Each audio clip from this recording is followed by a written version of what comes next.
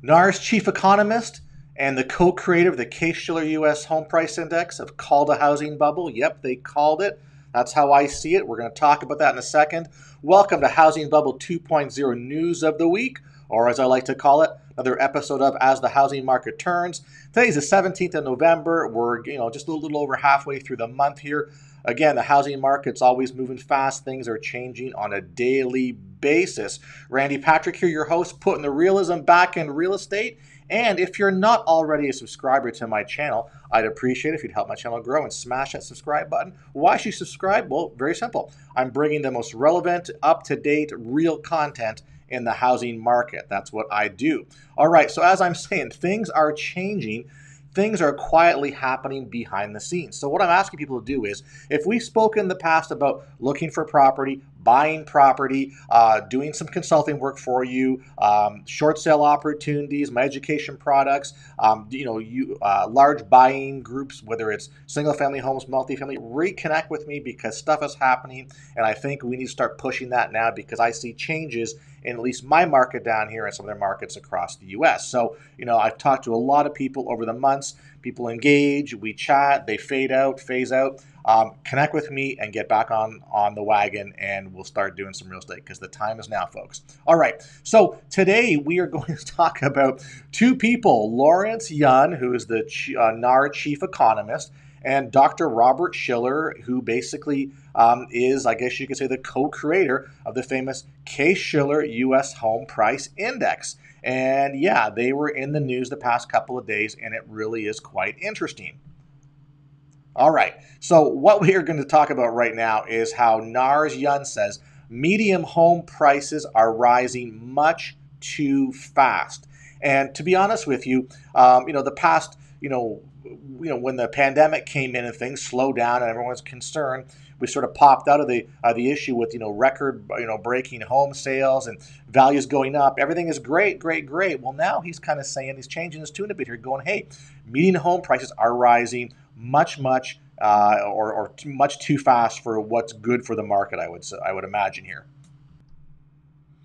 All right, so if we expand this a little bit, uh, you know what he's stating is the fact that low mortgage rates and record low housing inventory has driven home price increases throughout the year, according to National Association of Realtors, and that the median single family home price grew year over year in all 181 metro locations that it tracks. So the U.S. median existing single family home price rose 12% year over year to 313,500, NAR said. On 117 metros, there were double digit price gains from one year ago. For added perspective, in, in Q2, only 15 metros had double-digit price gains. So Q3, basically, um, we saw massive, uh, you know, double-digit gains in almost basically all the metros. All right. So uh, basically, what can help remedy high home prices? Finding a solution to the inventory crisis, uh, the Lawrence Yun, the chief economist, said. So basically, our inventory right now in Q3 is 19 percent lower than it was this time last year, and there were enough homes in inventory to last 2.7 months at the current sales uh, price. Uh, as home prices increase both too quickly and too significantly, first time buyers will increasingly face difficulty in coming up with a down payment. excuse me, and then she said transforming raw land into developmental lots and new supply are clearly needed to help tame home price growth. All right. Uh, so basically, you know, favorable mortgage rates will continue to bring fresh buyers to the market.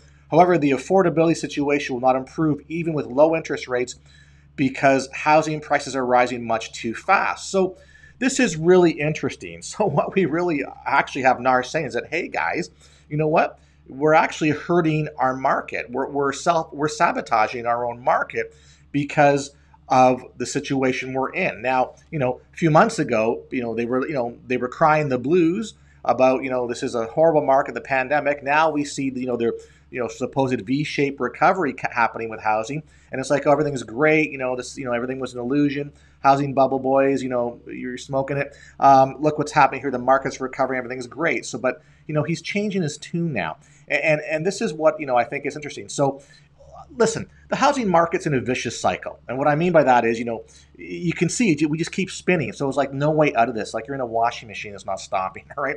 And so what, what he's saying here is that we need more new construction. When he talks about, you know, um, transforming raw land into developmental lots and new supply, well, that means home builders, land developers, whatever. So He's not providing the solution. You know, the National Association of Realtors are not providing this solution, right? He thinks that this should go on developers and builders, right? Well, that's great. So home builders are building homes, and we know that.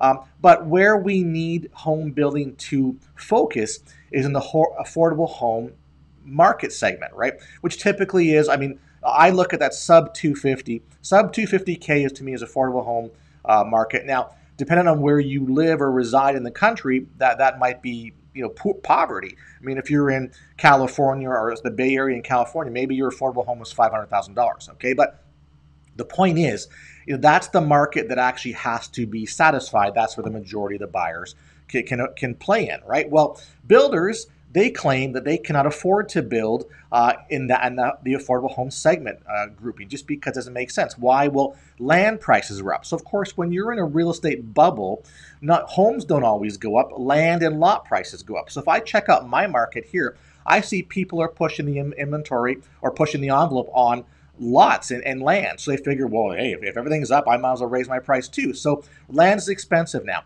Entitlement and development is expensive. You know, material costs are expensive, right? Lumber costs have been up, other costs have been up, and labor costs, labor costs or skilled labor costs are up. And just as a as a you know side note, a lot of skilled labor left the country um, apparently back after the last housing crisis. So you know everything was being built up, and then when everything stopped, they went home. You know, so a lot of them are maybe immigrant workers. So again, the housing market is is choked right now.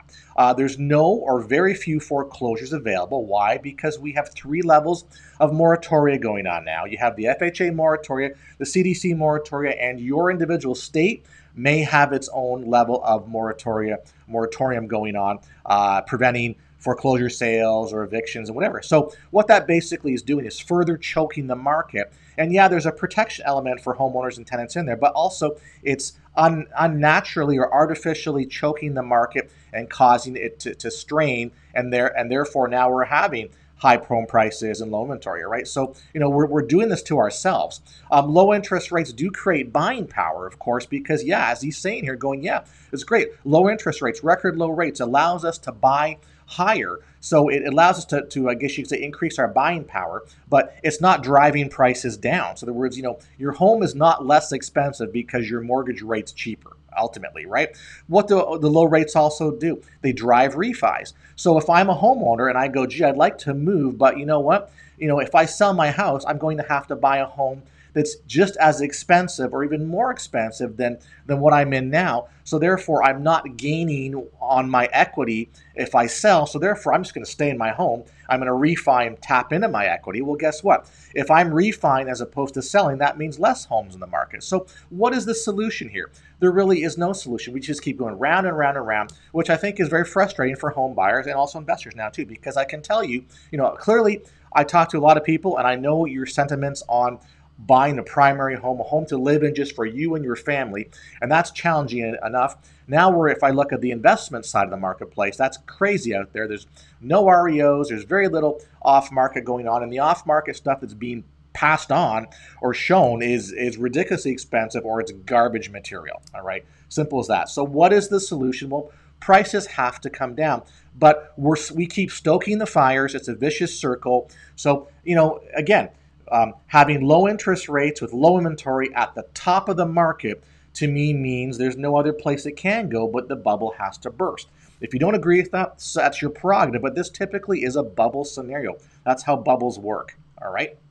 Now, bubbles bubbles not the problem. It's what happens after the bubble. So, again, going to the next segment here is home prices are in a bubble full stop. So now we've got another um, disclosure here, and this is a this is from Bloomberg, and there was an article written by a guy called Aaron Brown here, and what he's doing, he's he's quoting, I guess, uh, Robert Dr. Robert Shiller uh, spoke recently, and you know, funny enough that um, I haven't heard him speak on the housing market since before the pandemic. All right. And this is why I think it's kind of uh, unique that he's coming out right now. Basically, you know, this article sort of regroups of what he, he sort of created another another little index and, and, he's another little calculation. So we're talking about that. So basically, it says consider that the you know. Um, sorry, sorry, the rapidly housing prices, rising prices in the U.S. has led to talk of another housing bubble, like the one that helped trigger the last financial crisis a little more than a decade ago. Consider, consider that the Case-Shiller Home Price Index has gained in excess of 6% per year on average since January 2012, uh, while net rental income has barely kept up with inflation, uh, increasing in just less than 2% a year. The result is home prices seem as overvalued as they were in the spring of 2005, nine months before the peak. And I know that Shiller's talked about this before, is that you know you can see the peak before it's at the peak. Okay, there's signs there. The economists, the analysts look at it and they go, "Hey, we're trending, you know, too high, too hard.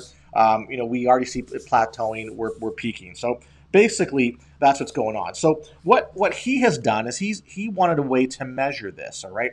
So uh, ultimately, he said one way to measure home valuations is with a cyclically adjusted price to earnings ratio. So that's short form for CAPE, C A P E. So cyclically, cyclically adjusted price to earning ratio developed by Yale University professor and Nobel laureate Robert Shiller for stocks.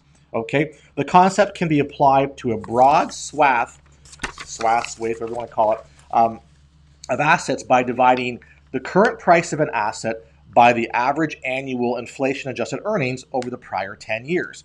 The chart below shows the CAPE for U.S. home prices and the S&P 500 index since 1996. So what he what Shiller's saying here is that hey, you know, if the stock market's in a bubble, the housing market's in even a bigger bubble. So uh, if you take a look at the chart chart there, that's the CAPE index he created. So the blue line is housing and the black line is stock. So we can see you know the peak and we can see the valley in 2012 and we can see where we are now. So basically what he's saying is the fact that you know home values are closer to their record highs than stock values. All right. So, um, you know, I guess you could say mo- much of the focus of the housing uh, market has centered on the short term environment, with low inventory cited for rising prices and a jump in rental vacancy rates driving rents lower. But if the concern is the possibility of major economic disruption rather than just whether houses are good investments at current prices, the focus should be on long term macroeconomics. Sure, real estate prices always drift up or down and differ by location and type of home, a bubble in housing requires widespread overvaluation over years, which is what we have witnessed. All right. So where that arrow is at the bottom, that basically is that's that's the quote. Okay. Widespread overvaluation over years, which is what we have witnessed. So basically, that's what he's saying. All right. So we are an overvalued market. So then we're in a bubble market, right? So there's there's you know, and if he's saying the our, our housing market is, is in a bigger bubble than or the bubble is greater than than the stock market bubble. Okay, so um, what also he basically wanted to say that home values are worrisome, but for different reasons than 2006. One minor point of comfort is the run up from 96 to 2006 displayed a classic bubble pattern of accelerating prices increases near the peak, so it was exponential. Uh, the increase in valuation since 2012 has been linear with no sign of steepening. So we've, we've sort of been increasing at a, at a, at a you know, linear pace uh, and it, it hasn't slowed down. So, you know, last bubble was growth, growth, big time growth and crash. We've been on a trajectory over the past, you know, eight years since 2012. Uh, and you know, he said that you know the bigger difference is in, is in this chart below. Um, it basically is looking at uh, ratio for housing versus 10-year U.S. Treasury notes. Um, again, I'll put the link to here. If you can read it a, a bit more. But the whole point is that um, ultimately, you know, everything is trending upward and we are in you know it's higher you know i guess you say higher home values values uh, associated with higher yields all right so that's a scoop so um, ultimately in the end you know when you take again this is easier just for you guys to look at on your own i'll put the link here but the, the point is and this is kind of a, a good little paragraph here it says today's high valuations can be explained by low interest rates as has been the usual pattern in the past uh, that might lead one to expect a typical correction where housing prices deflate over a few years with differences among regions. Many homeowners are hurt in places where prices are especially high and also in places where uh, economics are especially bad. But nationally diversified mortgage securities follow historic trends and financial institutions deal with losses seamlessly. Um, homeowners who can wait out the decline will see valuations increase above the purchase prices in five years or so. Like he said, when we have an adjustment, if you if you hunker down and you ride it out, eventually you know the market pops back up. All right. So um, the bad news is all previous history came at higher mortgage rates. the average 30 year fixed mortgage rate fell below 3% for the first time in August 2020. And rates are close to the lowest possible levels given credit risk and cost of writing mortgages. So, really, there's not much wiggle room, all right? It's one thing to be at peak valuation, it's another to be at peak valuation with no discernible upside. So, really, um, you know, he, what he's saying is that we're kind of at the peak right now. And, you know, you can't drop rates any lower so what's going to happen? I mean, we're, we're bubbling, and you know, I think that the next logical, I guess, you know, step forward is there has to be change and things have to come down. It's implausible that housing prices can go up from here without large increases in rents, uh, which requires increases in demands for housing. That's an unlikely outcome in a recession. If a recession continues, where will the new demand come from? If it ends, interest rates go up, pushing housing prices down. So he's kind of predicating the thing that as rates will have to go up at some point in time uh, you know, and until we see that, we're going to keep seeing this bubble play out, which is unreal. And um, you know, again, he, now you know he has to temper this, right? The good news: this is not a disaster market. Uh, there's no evidence home price declines could threaten financial system, nor create the mass economic distress we saw in 2007. Well, that's right. There's no that home price declines might not do that right now, but we do have a financial crisis going on that's caused by something else. It's caused by COVID and shutdowns and uh, job losses, and other economic issues. So housing is not going to be a major contributor to what's already been happening. All right. Um, basically, um, the bad news is there's a lot more downside than upside from the average home buyer, and some of them are very likely to suffer in 2021. So what he's basically saying is that, guess what, guys? Um, you know, we're going to have these forbearances and foreclosure problems in 2021 as time goes on. That's where things will start to out- unravel and stuff will happen. So uh, as I go, went to one of my first slides, going, you know, I'm preparing for this now. I'm already seeing activity in my market uh, that's starting to open up. So that's what you have to do is you got to be ahead of the curve. You can't be waiting for stuff to take place and look in the rearview mirror and, and decide, oh, I need to buy a house or invest or or take action. You got to do it now. You got to. We have to. You know, we have to.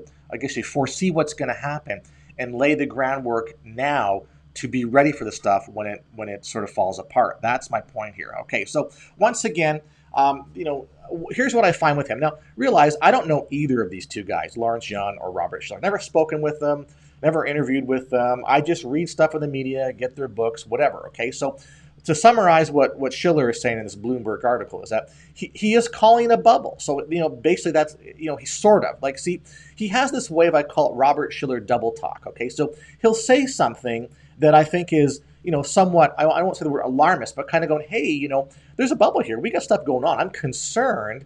And then he tempers it with, well, we could have a problem, but here's how we may not have a problem. And I wouldn't bet on it, but I wouldn't discount it. So basically, that, that's been his his discussion for the past couple of years. He states we have a bubble, states we could have problems. He's hedging his bet. He can't or won't commit. And I, I think it's it's because you know um, of where he's at today. He's looked on in the economy as being you know someone you, that you know you look to for quotes and indications as to where housing is going.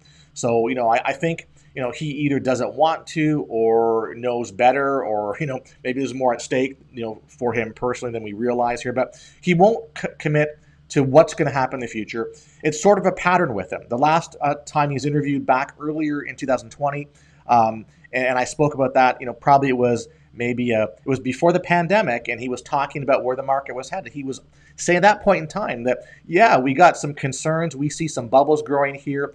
Um, we got to monitor this and stuff. You know, his point was, you know, once we see what happens with the spring selling season, better better determine what's going to happen in the future of housing. Well, didn't see the spring um, selling season. Why? Because everything happened so fast and COVID hit, so it, it changed everything. So again, I just want to say, you know, again, I'm not discrediting anything these guys are saying. They're obviously smart, well-educated, and experienced guys in the financial industry, but um, it's what they're telling us and via the media that I think is problematic, and I see patterns here. So this guy Robert won't, you know, commit, and it's sort of a pattern with him, and and it's funny because he, he put a book out, and um, I bought the book hoping, and this was back in 2019, so I bought the book immediately, and I was hoping to that he would explain or gain some insight in the housing market. You know what I mean? Because that's you know we follow him. I mean he's got the you know he's the co-creator of the number one It's the you know Standard and Poor, you know um, CoreLogic, Standard and Poor U.S. Home Price Index. I mean, that's there's a lot of names associated behind that. Okay, and, who's utilizing it, and, and, and you know we all tend to sort of look at that as kind of the be all and end all of where the housing market's headed and how we measure it. Well, so he has his book out here, and you know this is his book, and I'm not promoting anything. So I'm just saying this is his book, okay, which I bought immediately when it came out, and and you know I, I thought, okay, I'm going to learn some things, and in the end, there's only one chapter on housing, and he talks about the history of housing and kind of how we got here, uh, but he literally has one page on the housing market today, which is today and the future. So one page, one page.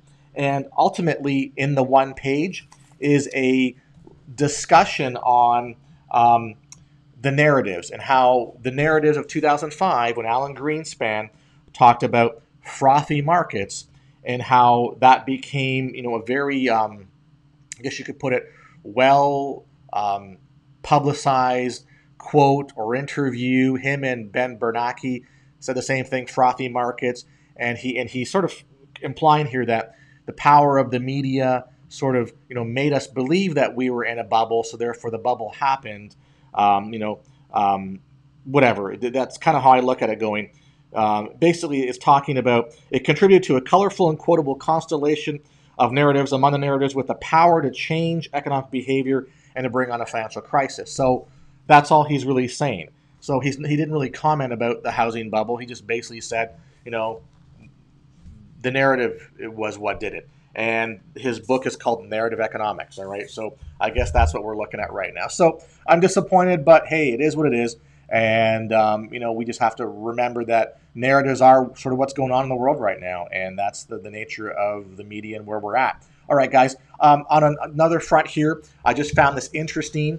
Um, so Airbnb. So we've talked about Airbnb uh, being, you know, like what's going to happen with shutdowns, travel restrictions, you know, mortgage forbearance, like all, all the things. So ultimately, you've got Airbnb, who has is, is, a, is a company who has you know hosts who rent out their their um, homes and, and, and properties for short-term rentals and the fact that you know major major issues are happening with Airbnb because of and the host because of the pandemic and shutdowns and lack of travel and all the things you got to go through. Um, so it's, it's difficult now, along with the, the hotel industry as well too. Well, Airbnb was planning uh, this time last year to go uh, like earlier in the year. They were talking about their IPO, initial public offering, to go public, and um, looks like they're at it again. Uh, but this little this is interesting. This is from Zero Hedge. It says you know amid tumbling revenues and headcount, no path to profitability. Airbnb files for an IPO. And ultimately, it is, you know, um, this time Airbnb right at the heart of the pandemic lockdown impact, uh, and the 350 page S1, which is, I guess, their, their offering, uh, shows the bloodbath the year has been. Um, the document shows that leading up to the coronavirus outbreak uh, earlier this year, Airbnb was spending heavily on technology and marketing to grow its business. Um, in the beginning, two friends opened their door 13 years later, 4 million Airbnb hosts have opened there. So that's kind of a nice tagline there. But when you take a look at what's going on, these guys have taken a beating this year, and it's no surprise. So I, I, I wonder why are they doing this now? But uh, Airbnb reports a net loss of 696.9 million uh, for the nine months ended September 30th. That's not even the year. That's just nine months. Uh, a decrease of 374.1 million over the year. Um, COVID 19 is mentioned 251 times in their offering memorandum. Airbnb says it's not possible to predict the pandemic's ultimate impact on the future of business. Um, so COVID 19 has materially, materially adversely affected our recent operating and financial results and contributing to uh, materially adversely impacted our long term operating financial needs. So, uh, in the end, basically, um, in 2019, their gross booking value, the GBV, was $38 billion. During the, the nine months ended September 30th of this year, COVID sent its uh, GBV gross booking value tumbling to 18 billion, down almost 40% year over year. So that's pretty significant. Okay, um, 38 billion uh, going down to 18 billion. um, that's a lot. Okay, that's half of what they were doing before. Uh, Airbnb's revenue took a hit from the pandemic, down 32 percent. Um, and, and, what it further talks about, uh, it's, it's, obviously it's got cash and equivalents, you know, as a backing, but um, it looks like um, It points to slowing revenue growth and no guarantee of profitability. Uh, essentially, um, Airbnb is cutting its full time uh, employee headcount by 25%. It also states that 86% of its hosts are located out the U.S. Uh, the company does business in 220 uh, countries. So um, I don't know about that, but that to me is not, does not sound like a very attractive initial public offering uh, when they're predicting um, negative or, or, bad growth or low growth, and then we start coupling or adding that with the rest of the issues that we're facing in the pandemic and the increasing of shutdowns and stuff right now, more restrictions that are planned for the near future. So I just found this was interesting. So ultimately, for, for us, that you know, the, the problem was we were never able to get a handle on Airbnb to see how it's affected or how COVID has affected uh, this marketplace, and we can see it's affected it by 40 to 50, between 40 and 50 percent of the revenues uh, or gross booking value has been cut. So that's substantial, and um, you know, uh, so to me, there there will be carnage for hosts that will permeate and manifest as time goes on as well. All right, so that's the point. Okay, guys. So what is my point? The point is don't get a false sense of where the housing market's headed. And we are now talking, or people are talking about, you know, we have problems. They're not coming out saying, we got a housing bubble, everybody run for the hills. They're saying, we need some solutions or this is going to get worse. We have a housing bubble, but, you know, we're not too sure how it's going to play out, but everyone be aware of it. Unlike the last housing bubble, crisis, crash, you know, whatever, um, they weren't talking about it or wouldn't talk about it. It was too late. Now we know about it. We know it's coming. The bubble's not the issue. It's just how it plays out. And, that, and that's what it boils down to. So there really is that's the difficulty as to how how long will this bubble be perpetuated by the powers that be with the constraint on on housing and lower interest rates still fueling the marketplace. That's my concern. Um, as I always say, two housing narratives in play. K-shaped housing market. You need to understand your market is hitting both the retail, obviously the retail single-family market, and the rental market now. But changes are happening. It's starting. It's subtle, but they're there depending on where you live. Um, how do I see that? Off market, distressed homes, shadow inventory. Foreclosure filings are starting to pick up again. I spoke with that a couple videos ago. And also foreclosure auctions being set. They're starting to pick up. In my market and the Florida market, some other states I've seen, there's an increase in foreclosures being set for auction, which again, that means uh, someone's going to lose their home and that home will be a distressed property. So the point is, can we get our hands on that before that actually happens and convert that into a save or a better solution for the homeowner and something and a, a, a cheaper property for a new home buyer? That's the whole point here, guys. All right, so you need to, you need to contact me for a consultation to find out about what I'm talking about. Different methods to acquire property, great way to help homeowners facing imminent foreclosure as well as buyers. Give me a shout. How do you do that? Send me an email with your information. There's my email right there. Okay, guys, appreciate the views, likes, comments. Get a hold of me. Let's get this moving, and we'll look forward to speaking with you later in the week.